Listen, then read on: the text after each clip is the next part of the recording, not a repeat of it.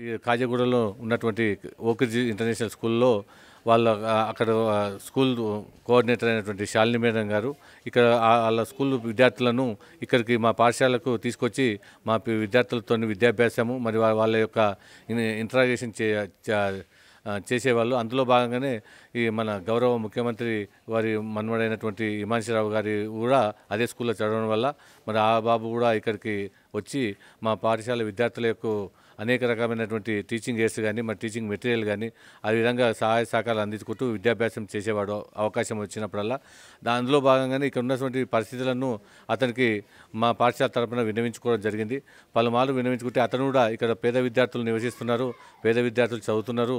ఇక్కడికి వారికి వాళ్ళ భవిష్యత్తు కోసం మనం ఏదో కొంత మార్పు తీసుకొస్తాం సార్ అని చెప్పి హామీ ఇవ్వడం జరిగింది. దా దాంతో దానిలో భాగంగానే అతను వాళ్ళ యొక్క తోటి విద్యార్థుల సహాయంతో మరియు అతని యొక్క సొంత ఖర్చుల ఇక్కడ దాదాపు ఎనభై తొమ్మిది లక్షలు ఖర్చు పెట్టి మా విద్యార్థులకు అందరికీ డ్రింకింగ్ వాటర్ బోర్ వేసి డ్రింకింగ్ వాటర్ ఫెసిలిటీస్ అదేవిధంగా ఫ- విద్యార్థులందరికీ ఫర్నిచర్స్ ఉపాధ్యాయులకు ఫర్నిచర్స్ మరి కాంపౌండ్ వాళ్ళు గేటు మరి అదేవిధంగా విత్ సపరేట్ బాయ్స్ అండ్ గర్ల్స్కు మరి బా మెన్స్ అండ్ ఉమెన్స్కు సపరేట్ టాయిలెట్స్ విద్యార్థులు కింద కూర్చొని తినకుండా మరి వాళ్ళు మంచి నీట్గా భోజనం చేయాలనే ఉద్దేశంతో మంచి సుందరమైనటువంటి డైనింగ్ హాళ్ళు ఈ విధంగా అన్ని రకాలైనటువంటి సకల సౌకర్యాలు ఈ మా పాఠశాలను చూసి చూసినట్టయితే ఒక ఇంటర్నేషనల్ పాఠశాలకు ధీటుగా ఈ మన మా పాఠశాలను తీర్చిదిద్దినటువంటి హిమాంశి బాబు గారికి కూడా ప్రత్యేక ధన్యవాదాలు తెలియజేసుకుంటాం అందులో భాగంగానే రేపు అనగా పన్నెండు ఏడు రెండు వేల ఇరవై ఇరవై మూడు రోజు అతని యొక్క పుట్టినరోజు సందర్భంగా ఈ ఇక్కడ ఇక్కడికి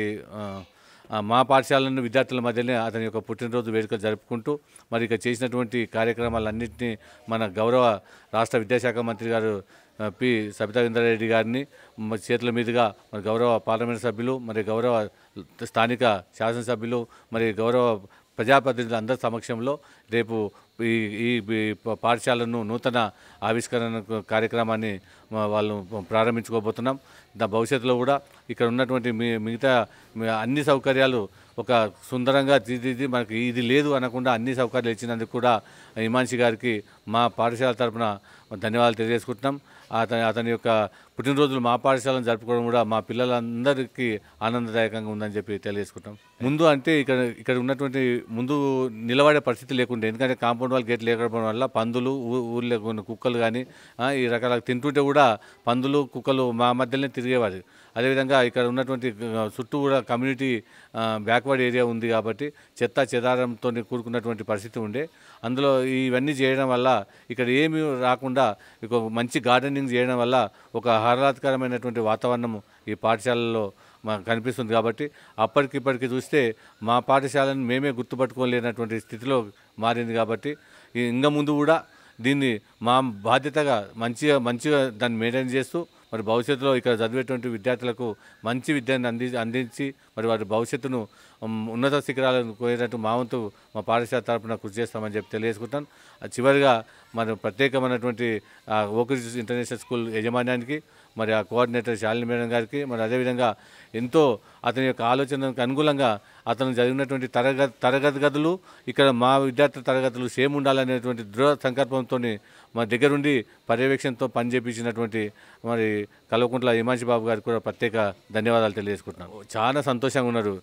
ఎందుకంటే ఇంతకుముందు ఎప్పుడు చూసినా మట్టిలో మరి ఏ సౌకర్యాలు లేకుండా ఎక్కడంటే అక్కడ టాయిలెట్స్ పోయి డ్రింకింగ్ వాటర్ ఇంటికే తెచ్చుకొని రకరకాల ఇబ్బంది పడేటువంటి పరిస్థితి ఉండే కింద కూర్చున్నటువంటి పరిస్థితి ఉండే. ఇప్పుడు వాళ్ళ వాళ్ళ పిల్లల యొక్క మా పిల్లల యొక్క ఆనందం చూస్తే వాళ్ళకి అవధులు లేకుండా ఉన్న సంతోషంగా ఉన్నారు.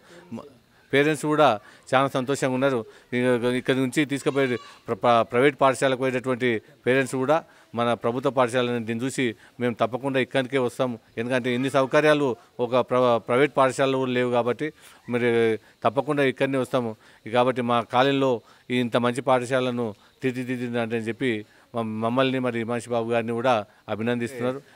ఈ ఇంత అభివృద్ధి అనేది సడన్గా నా నా స్థానిక నా సమయంలో జరగడం అనేది చాలా ఆనందదాయకం. ఎందుకంటే ఇది చిరస్థాయిలో నిలిచిపోయేటటువంటి ప్రోగ్రాం ఎందుకంటే ఇంత మంచి పాఠశాలలో మనకు పనిచేయడానికి అవకాశం దొరికినందుకు మరి ఇక్కడ ఇంత సౌకర్యాలు కల్పించి మేము దగ్గరుండి చే- దగ్గరుండి అన్ని పనులు దగ్గరుండి అన్ని పనులు చేసు అన్ని పనులు చేసుకుంటున్నందుకు మేము చాలా ఆనందంగా ఫీల్ అవుతున్నాం సార్.